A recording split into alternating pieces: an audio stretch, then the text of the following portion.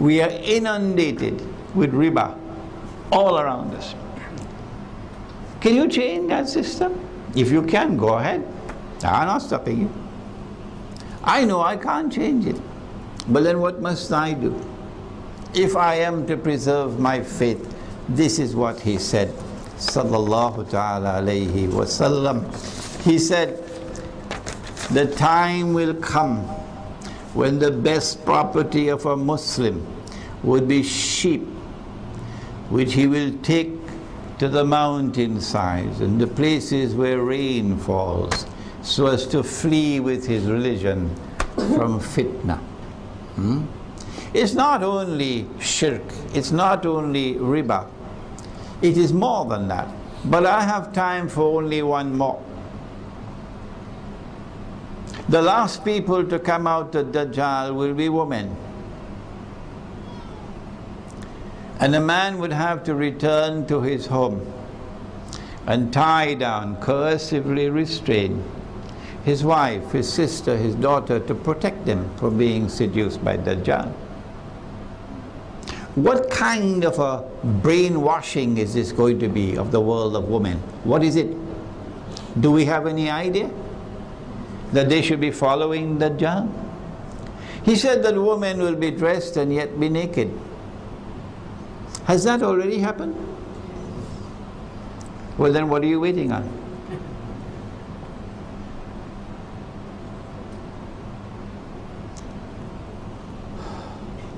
If today it's bad, if today they are in shorts in the shopping malls, and as you walk around in the shopping malls, all that you're seeing is flesh and flesh and flesh and flesh and flesh. Tomorrow, they're going to be walking around in the shopping malls in their intimate underwear. Yes. And then the day after that, they're going to be walking around the shopping malls naked. Is that the world that you want to bring your children up in? Is this what you want your children to see? Huh? Don't you have love for your children? Did you live in a world like that, that your children should be subjected to that? Huh? No.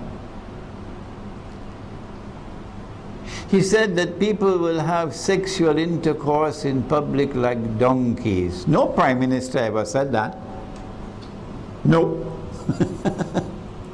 but Nabi Muhammad wasalam said that. And the evidence is now abundant that we are on the verge, we are on the verge of seeing this with our own eyes. He said that in Akhir Zaman, one man would have to maintain 50 women. You heard that, haven't you? Come on, shake your heads. Yes. You have heard that, haven't you? Yes. Good.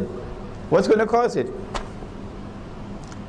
Why this amazing disproportion?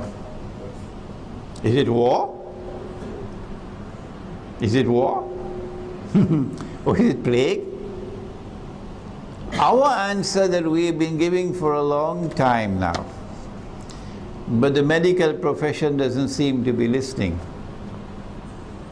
is that there is going to be a calamitous decline in the birth of baby boys.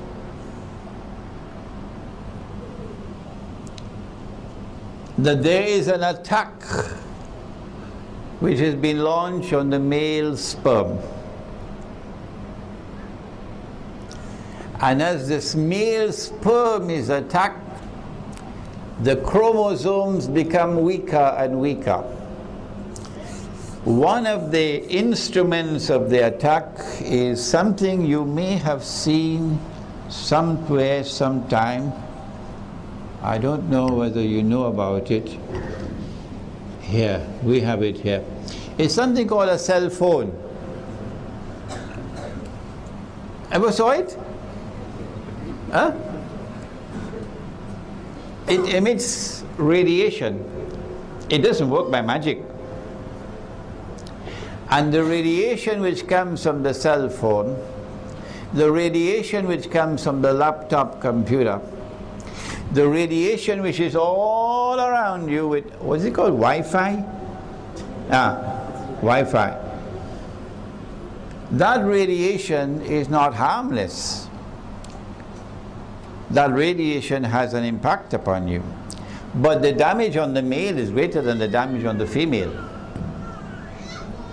I went to give this lecture at uh, Telecom, is it? A Malaysian telecom company. And after I gave the lecture, one of the employees of the company got up and said, Sheikh, we got the evidence. Our personnel who work on putting up the poles, they have reported they can't have baby boys. We have the evidence right here in Malaysia. Because the chromosomes become weaker and weaker so that the male chromosome cannot fertilize the egg. And when the male chromosome fails to fertilize the egg, then the default is the female. And that is Dajjal's success. And so we are on the verge now of a tomorrow when there's going to be an explosion of the birth of baby girls. And a baby boy will be one in a thousand perhaps. What kind of world is it going to be then? Dajjal came along with a master plan. And the master plan was made, was designed to make Nabi Muhammad alayhi salam look bad, bad, bad. The master plan is that civilized men have only one wife. And he brainwashed mankind to such an extent. He brainwashed both men and women to such an extent that nearly everybody has accepted Dajjal's view that civilized men have only one wife. And if a man were to step out of monogamy to have more than one wife, society looks down upon him. In consequence of which Dajjal could now point, look at him, there he is, your prophet, look how many wives he had, makes him look bad. What are you going to do in your society tomorrow, which is coming?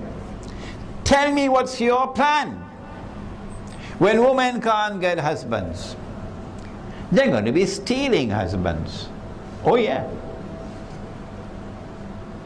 When women cannot get husbands, it's going to be free for all. It's going to be zina around the world. The Prophet ﷺ spoke about Akhiru Zaman as an age of kathratu zina and children being born as bastard children. Our solution is the Muslim village. One of the first lessons I was taught by my teacher, Maulana Dr. Muhammad Fadlur Rahman Ansari Rahimahullah, when I left Al-Azhar University to go to study with him in Pakistan, one of the best decisions I've ever made in my life, although I love Egypt. The first lesson he taught me, and it was a shock, because I had attended the best college in my country.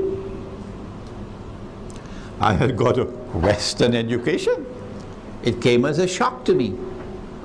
He said to me, once you accept this Quran to be the word of Allah, then whatever is in the Quran, whether you understand it or you don't, whether you are comfortable with it or you are not. You must submit.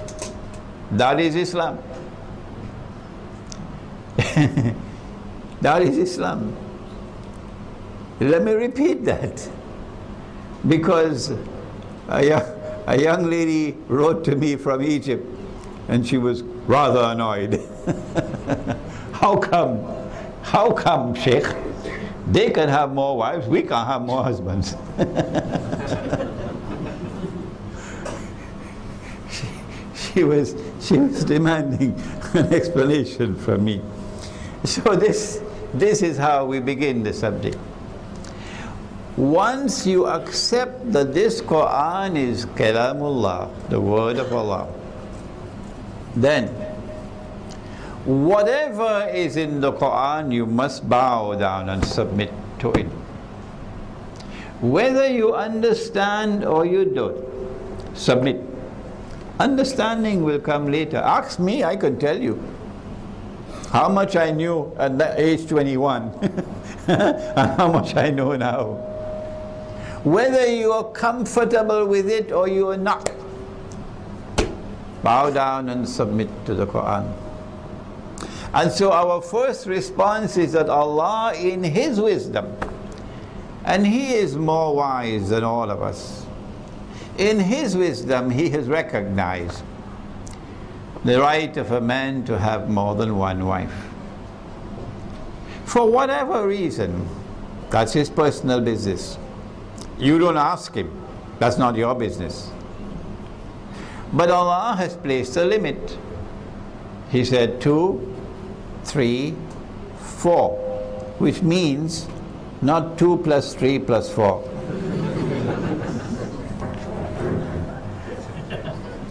no. two or three or four. But on the condition that you must be equitable in your relationship with your wives. You must show equity. And if you fear that you cannot be equitable with them, then, says Allah, stay with only one. Okay? So Islam, the religion, has given a different, a different uh, philosophy of marriage to that which, come, which has come from Dajjal. Make your choice. Will you take that which has come from Allah or will you take that which has come from Dajjal?